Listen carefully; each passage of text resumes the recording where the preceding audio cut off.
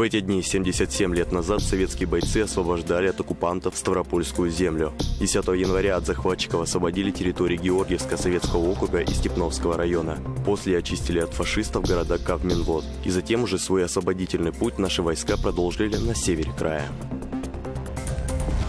За минувший год экспорт зерна из Ставропольского края за границу увеличился в два с половиной раза. Такие данные опубликовал Россельхознадзор. В 2018 Ставрополье отправил за рубеж 303 тысячи тонн зерна. Спустя год этот показатель увеличился до 730 тысяч тонн. Большая часть продукции – это пшеница, но еще есть кукуруза, рапс, ячмень, горох и соя. Главный покупатель нашего зерна – Азербайджан. Он приобрел примерно 70% продукции. Среди других стран – Грузия и Армения. Эксперты отмечают, что рост интереса к ставропольскому зерну объясняется его стабильным качеством.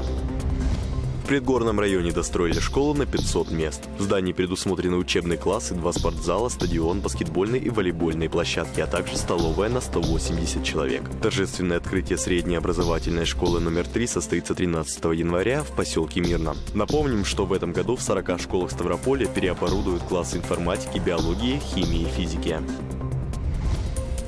Кисловодск попал в топ городов для летнего отдыха в 2020 году. Специалисты популярного сервиса бронирования жилья для отдыха подготовили рейтинг городов России, которые люди чаще всего выбирают для путешествий. По данным ресурсов, в Кисловодске граждане в среднем берут дома на 8 ночей и за сутки тратят около 2700 рублей. Как показали данные бронирования, туристы в 2020 планируют потратить на аренду жилья от 1000 рублей до 12 с половиной тысяч рублей в сутки.